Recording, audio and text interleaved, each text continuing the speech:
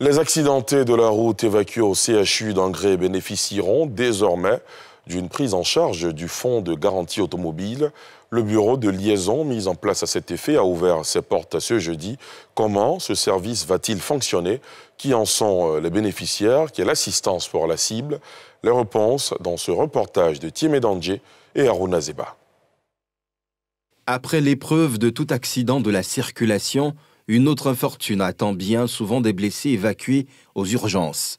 Il s'agit des accidentés dont les véhicules impliqués n'ont pas de police d'assurance et ceux dont les chauffeurs prennent la fuite. À ces cibles, le fonds de garantie automobile continue de voler au secours. Le service de l'État vient d'ouvrir un bureau de liaison au CHU de Cocody-Angré dans le nord d'Abidjan. Cette réponse au calvaire d'une prise en charge rapide pour des blessés naguère laissés pour compte intervient dans le cadre de la politique de rapprochement du service de l'État de ses cibles, dont plus de 3000 ont été assistés de décembre 2019 à 2020. Il fallait qu'on soit le plus proche possible de notre cible. Dans le cadre de cette collaboration qu'on a avec l'ensemble des CHU, donc on a des conventions de collaboration, nous sommes installés dans les CHU. Et donc, euh, sur la base de cette convention qu'on a, nous avions accès au dispositif de, de, des CHU nos agents font l'inventaire des personnes qui sont euh, aux urgences, mais qui sont euh, victimes d'accidents de la voie publique.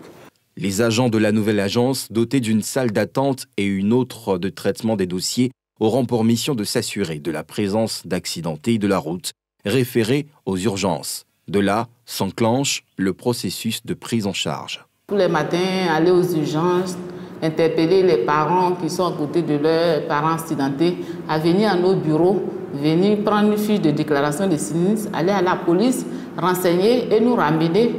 Et nous, sur la base de ces fiches, s'il y a un délit de fuite ou un défaut d'assurance, nous les prenons en charge systématiquement. Nous payons les médicaments, l'hospitalisation, les radios, tout, tout, tout, tout à 100%. La prise en charge des accidentés de la circulation fait intervenir trois acteurs. Les véhicules assurés par des opérateurs privés, les véhicules de l'État la dernière catégorie comprend les véhicules non assurés et les cas de fuite de chauffeurs.